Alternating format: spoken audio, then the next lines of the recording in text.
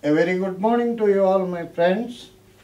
In the last class, we discussed about uh, the various uh, kinds of probability sampling.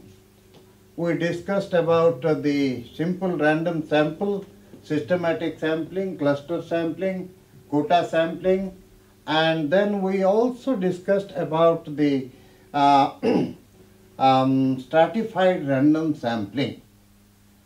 Now, the last form or type of uh, probability sampling is multi-stage sampling. Multi-stage as the name suggests, here the sampling will be done at different stages and this kind of sampling is basically required when we want to study a larger population, a very large population dispersed over a very large area. Say for example, we want to study the whole population of India. Now, it will be very difficult to study the impact of a particular television program or impact of a particular developmental program on the whole population of India. Then what we can do, we can minimize the sample size and yet take a very representative sample from the whole of the nation. Now I will let you know how we can proceed with this multi-stage sampling. Say India, the whole of India is our universe and now what we can do at stage 1, at stage 1, first we will prepare the list of, prepare the list of uh, states, list of states we and union territories. Now suppose we have about uh, 30 states and union territories and we prepare a list of 30 states and on a random basis we pick say for example 4 states. So out of 30 states randomly we picked up random selection 4 states.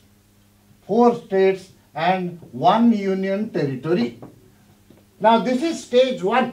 From the 30 states or 29 states and 6 union territories, at stage 1 on a, we prepared a list of all the states and the union territories and on a random basis through lottery method maybe we have picked up 4 states and 1 union territory. Now even studying or collecting data from the population of the four states and one union territory will be difficult.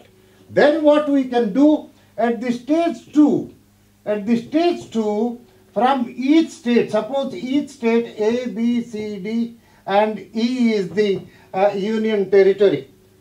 Now suppose state A has 28 districts, state B has 30 districts, State C has 22 districts. State D has say uh, 20 districts and E has say 10 districts. Now what we can do from all these districts from each state, suppose we decide on a random basis we will select two districts. This is stage 3, stage 2, two districts from each state and the Union Territory. So total we have 10 districts, 10 districts at the stage 2. Now, this is second stage 2. It is also not possible for a researcher to collect data from the all the households of the district. Now, if you look at the administrative units of the state, uh, district, a district is also suppose is divided into various blocks. A district is divided into various blocks. Now a district suppose uh, here two districts are there and at stage 3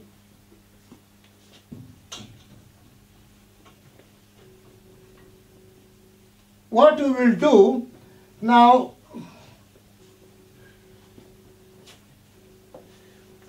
At stage 3, we had selected first five states and one four states and one union territories. And we have selected X district, Y district. And here suppose um, uh, X and Y let us say from each two and now at stage 3 what we suppose X has 6 blocks. X has 6 blocks. 1, 2, 3, 4, 5, 6 and Y has also uh, say 5 blocks. 7, 8, 9, 10, 11 and similarly all the districts have blocks. Now we have prepared a total number of say blocks for all these districts and the total block suppose comes to 130. Now we have decided from each district we will select two blocks on a random basis. On lottery method from the six blocks we have selected two. Now there are how many districts? 10 districts.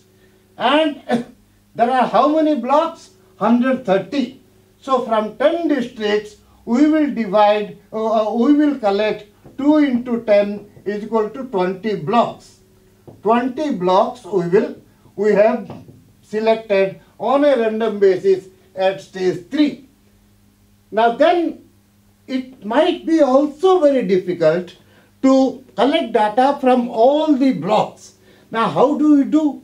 Now the blocks are also divided into various villages and uh, uh, towns also. A block as a town, a block as a village. Now you decide, let us decide each block. It has say four towns and 20 villages. Block 2 has three towns and 15 villages.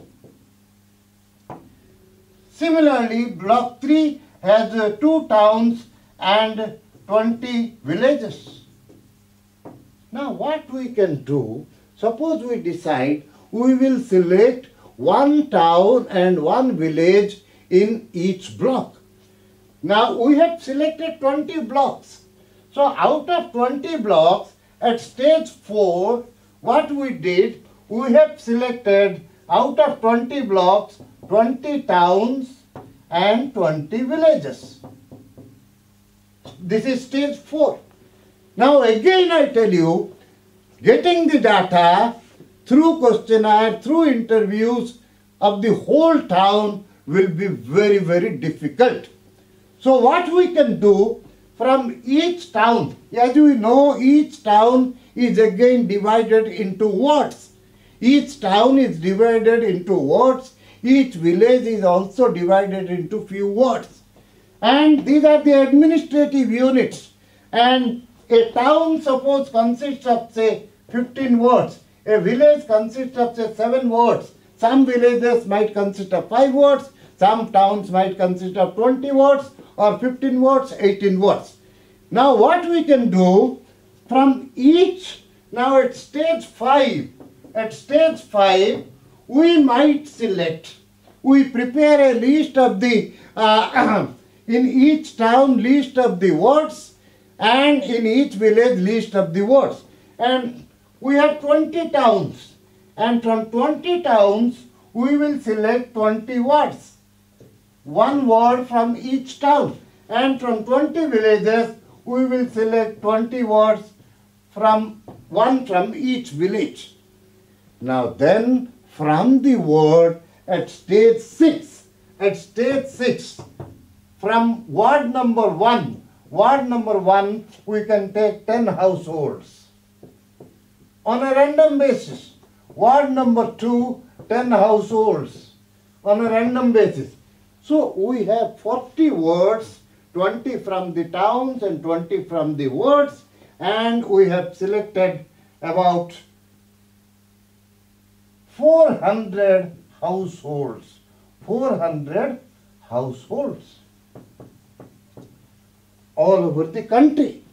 Now we can collect data from these 400 households and that will be representative for the whole population because at every stage, it is a six stage sampling that we have made. The whole, first the India, then at stage one we talked about the states and we have selected four states and one union territory. Then we, second stage we talked about the districts where we talked about the districts of all these four states and uh, union territory. We selected, uh, say, uh, two, two districts each. Then stage three, from the district, we selected the towns as well the blocks. And stage four, we have selected from the blocks one town and one village of each block. And stage five, then we selected words, one word from the each town and each village. And stage six, from each word, we have selected 10 households. And all over the country, we have selected 400 households. So this is fairly a representative sample what we say because in an unbiased manner and at every stage we have utilized the principle of simple, simple random sample drawing method through lottery method or through Tippett's or through uh, uh, whatever random sampling methods and we have drawn the sample. Now, the study or the findings that we get by collecting data and analyzing data from collected from the 400 households all over the country will certainly give us a finding which can be generalized for the whole country. In other words, a multi-stage sampling method uh, is very, very appropriate as a probabilistic method where we are considering all the households from a, a very large area that is India.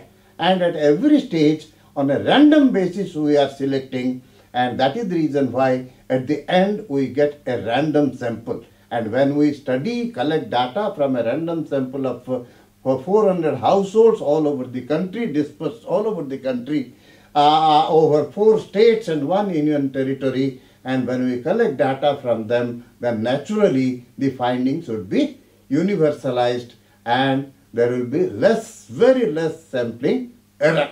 That's what uh, uh, brings us down to the end of this probabilistic sampling. Now we will go to non-probability sample. What do we call a non, why do we um, have a non-probability sampling? In many of the cases, it becomes very difficult to draw a probable sample, a probabilistic sample. Non-probability sample, non-probability sampling. The other day when we were talking about the introductory part of the sampling, I told you non-probability sampling can be of uh, different types.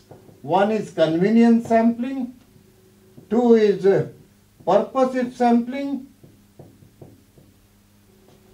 sampling, three is deliberate sampling,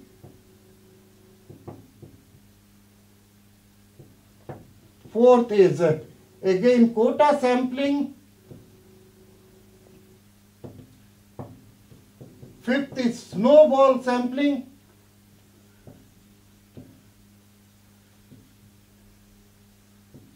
And sixth is volunteer sampling. These are the six methods of non-probability sampling. What do we understand by a non-probability sampling? Simply stated, a non-probability sampling method states that there is no equal chance, there is no chance of probability of for every unit of the universe to be included in the sample. Like in probability sampling, in random sampling, each unit of the universe I told you will have the equal chance of being included in the sample. But in non-probability sampling, that probability of being included in the sample will be missing because it is non-probability. It depends on our convenience of the researchers. It depends, the selection depends on the uh, purpose of the research.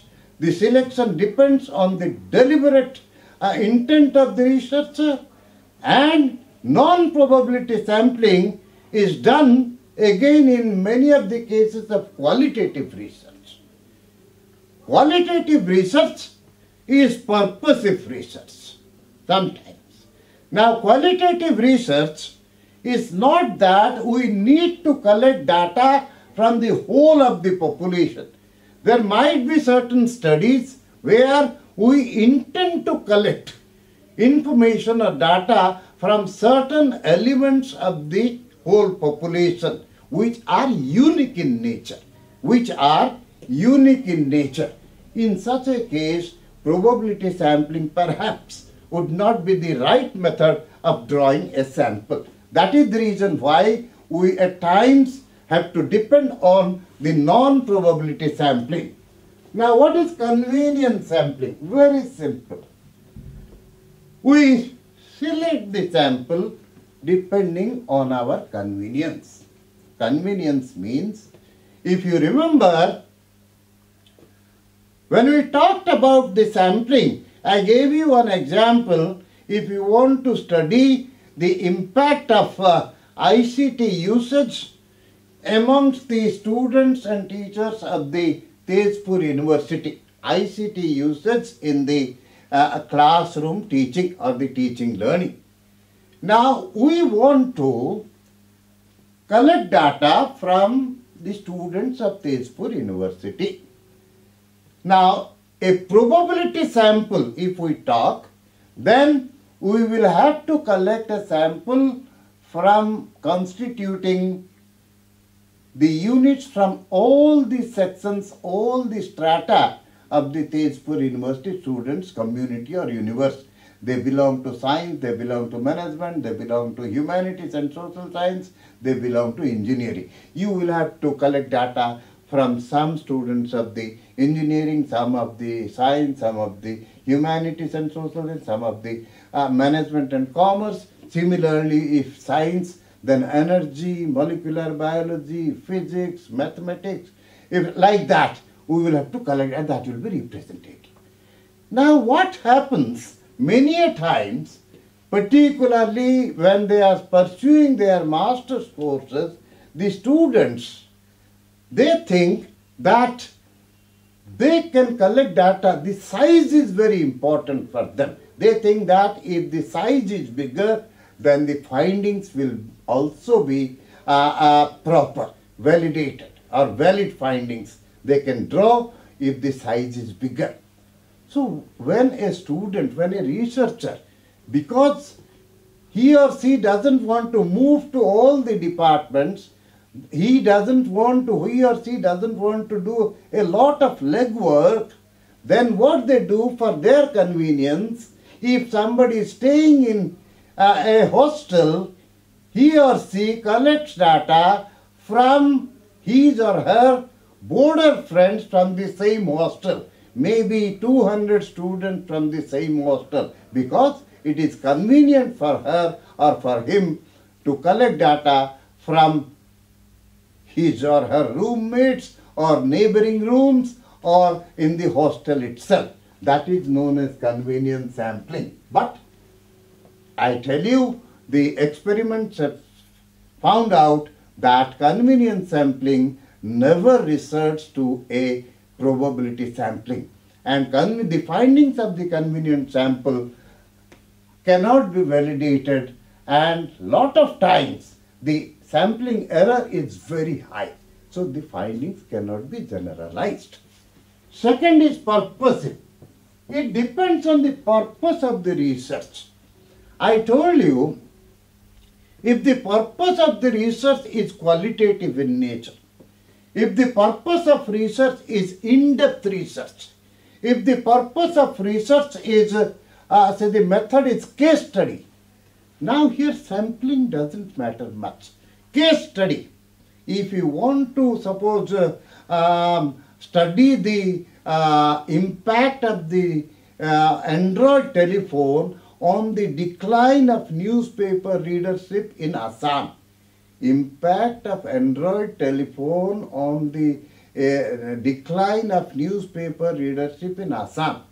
And there you want to collect information talking by talking specifically to the newspaper editors and also the managing editors. It is a proven fact that there is a decline in the newspaper and studies have already uh, found out the fact that it is because of the too much of engagement of the youth in the with the android phone and they read data online they read news online. That is the reason why there is a decline in newspapers. Now how to solve this problem? This is an excellent research. Here you will have to talk to the editors and the managing editors and the circulation managers. So our purpose of the study, our purpose of research here is not the collection of data from the general mass or the universe, but the collection of data by talking, by interviewing the people, those who matter, the editors, the managing editors, the circulation managers, all these people. So purposefully, when the purpose of the research is quantitative, uh, qualitative, or the purpose of the research is to collect data from certain unique elements in the uh, universe, then we can have a non-probabilistic sample. Their probability sample will not work much, but at the same time, purposive sampling also we will have to minimize the error. Too much of biasness, too much of prejudices of the researcher should not play into the selection of the unique elements of the for the study. When you are selecting certain unique elements also, you need to have a kind of uh, uh, uh um, uh, what I will say, the features which will have some similarities amongst these elements. Then only you can say that fair uh, Uh, uh, you have been able to select a sample which is non-probabilistic but maybe it will have little of sampling error. Now third is deliberate sampling. What is deliberate? Deliberate and purposive almost same. Deliberately you are choosing certain elements. Why deliberately? Now suppose you are working on, you are working on again, they say particularly studying uh, the impact of say the Nirbhaya case, the Nirbhaya case on the working woman of the country in metros. Impact of the Nirbhaya case on the working woman of the metros. Now, here the purpose also tells that you will have to, your universe is confined to the working woman of the metros. Now deliberate, what is deliberate sampling? Deliberate sampling means here it is a indefinite universe. The universe here cannot be defined because we do not have a database of all the working women in all the metros. So it is an undefined universe. When you have an undefined universe, when you have an indefinite or infinite universe and undefined, then deliberately you will have to choose, pick and choose your sampling units for your study. There, the judgment of the, uh, the judgmental capacity of the researcher is of very, very importance, where the researcher has to follow certain guidelines in his thinking and in his methods that he or she is formulating to select the sample. Means even if it is not probabilistic, the researcher has to use certain statistical principles which will give a semblance of probability to the non-probabilistic sample that he or she is going to collect through deliberate sampling because the, it is an in um, uh, infinite universe, the universe cannot be defined. That is deliberate sampling, which is non-probabilistic. Then quota. If you remember, while discussing the uh, probabilistic sampling methods, I had said that quota sampling is also a probabilistic method. Quota sampling is probabilistic. Say, for example, if you are taking religion as one of the criterion of homogenizing or segregating the heterogeneous population according to religion. Suppose you are uh, talking about uh, the CAA and how people belonging to different religions, they react to CAA. Now you have taken the population of say Assam, that is your population of study, and you have found out that 48% are Hindus, 48% are Hindus.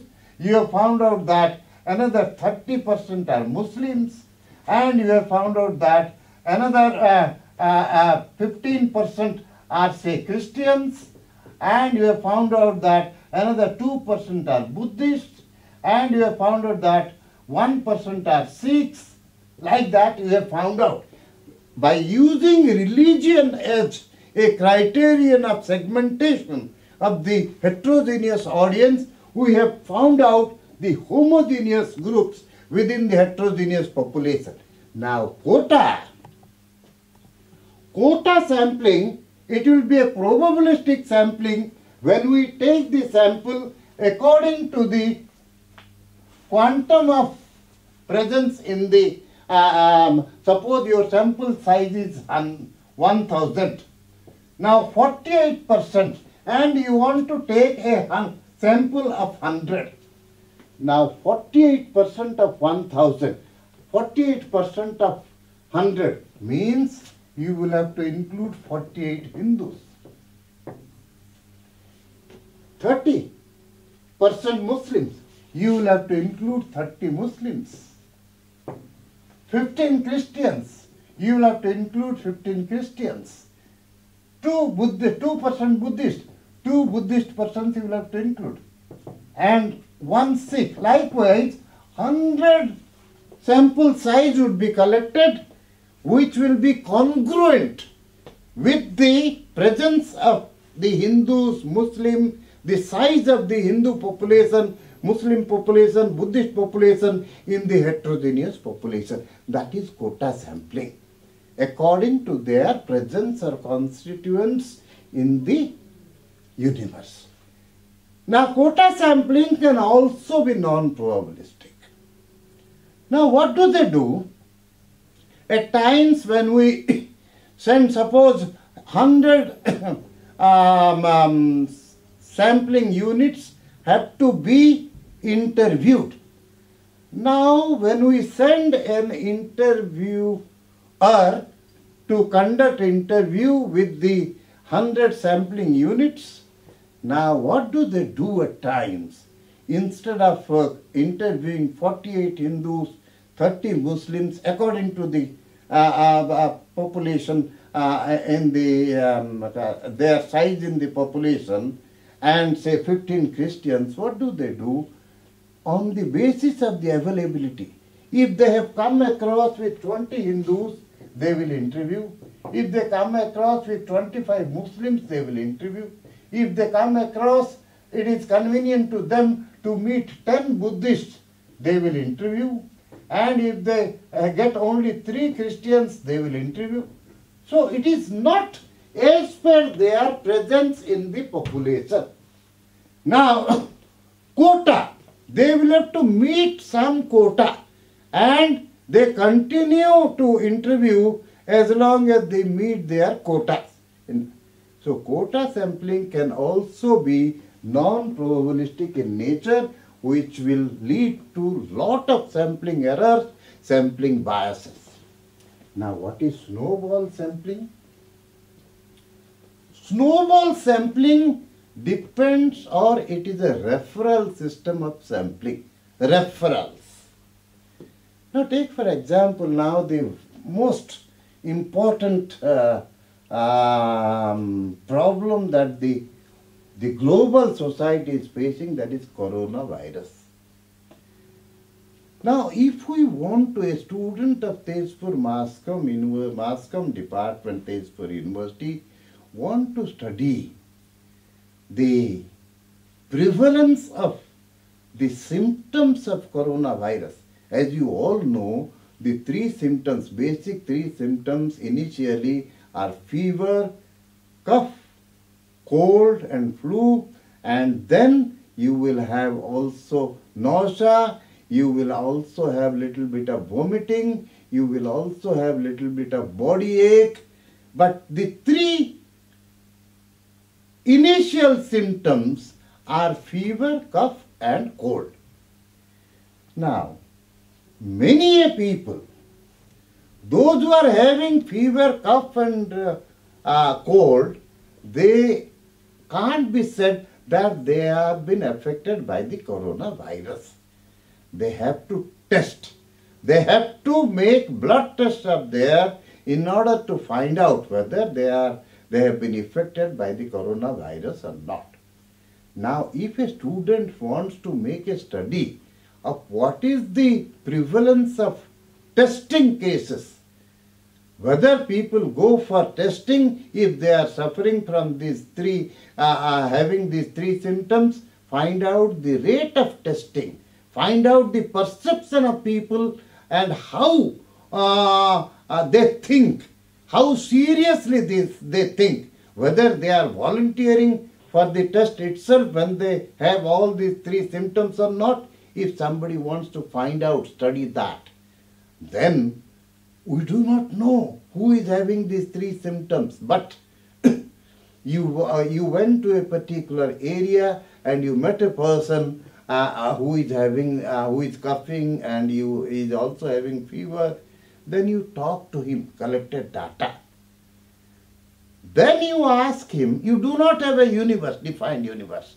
Then you ask him, do you know somebody who is also having uh, uh, uh, in your neighborhood in your family who is also having these three symptoms, he will refer to another person.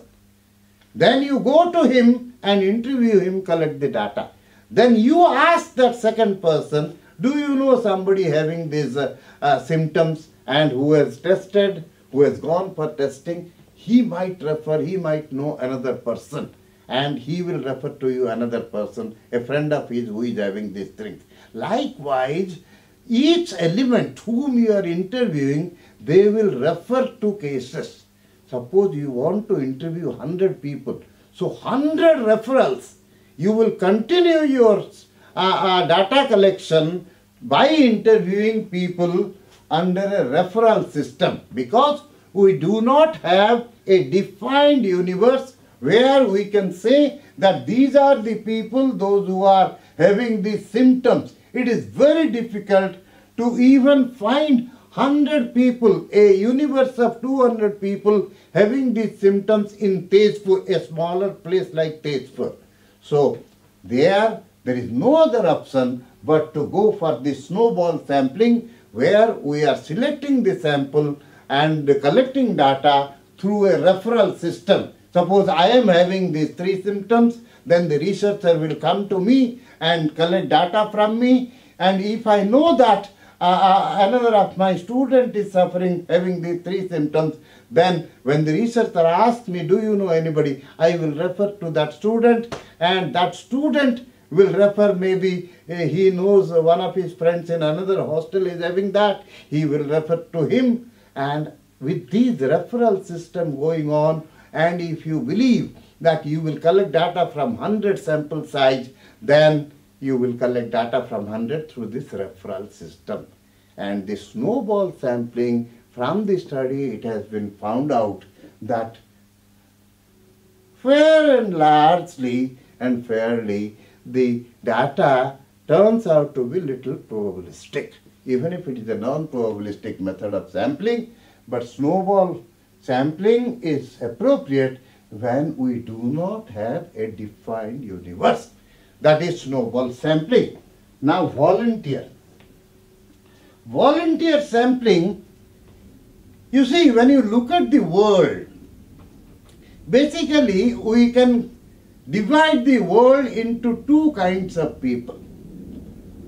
One group of people, those who are very much willing to come on the uh, media, they want to be seen in the pages of the newspaper, they want to be seen on the television, they want to be heard in the social media, they want to be heard in the radio. See, means they are very media savvy.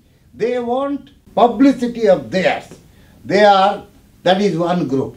Another group of people, those who are very shy, they do not want to be seen in the public media or in the public fora. So, one group very much willing to give you interview, one group very shy and you will have to make a lot of motivation for them to talk.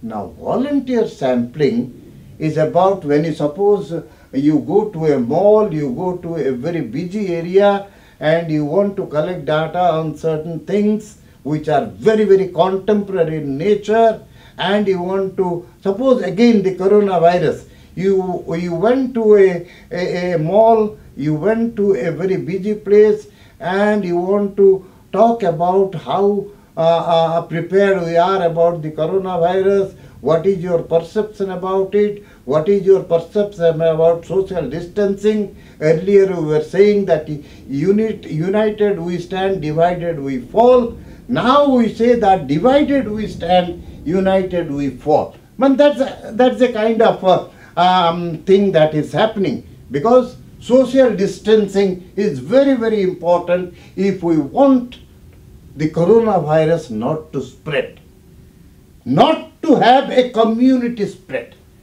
So, if we want to collect information about the perception of the people, about their uh, um, um, approach, about their understanding of the issues, about their opinion about the government initiatives, about their opinion about the voluntary participation of the whole population in resisting corona, in fighting coronavirus, then you go to a place and instead of you asking somebody, some people will volunteer. No, no, I will speak, I will speak. And you have to collect data from those. Means they talk normally more. Those who volunteer, they speak less about the uh, topic and they speak more about themselves. Here the researcher will have to be very, very careful and the researcher, while talking to people, those who volunteer themselves for uh, uh interviews, I am sure 80% of that data would be superfluous and 80% of data will not be required by the researcher only 10 to 15% of data will be required. So there will be sheer wastage of time, money, everything. So volunteer sampling uh, again is a very, very uh, inaccurate, inaccurate method of drawing a sample, but at times we go to the malls and collect information and uh, we can't avoid such kind of situations also in sampling. And these are the six uh, methods of non-probabilistic sampling I have told you. And I have also talked about the uh, finite universe and infinite universe. And I have also talked about an hypothetical universe from which we draw samples.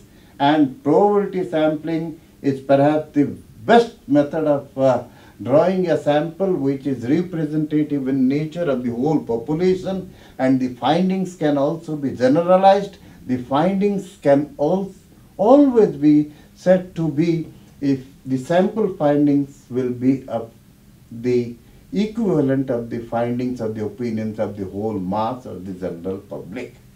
And that brings us uh, to an end of the um, chapter of sampling and uh, in the next class we will talk about the tools and methods of data collection. As you all know, the questionnaire method, whether it is mailed questionnaire or self-administered questionnaire or schedules that are schedules that we use in interviews and focus group discussions observation, whether participant observation or non-participant observation. These are the various tools and methods of data collection and in the next class we will talk about questionnaire, a very very important tool or method that we use in collection of data. Thank you very much.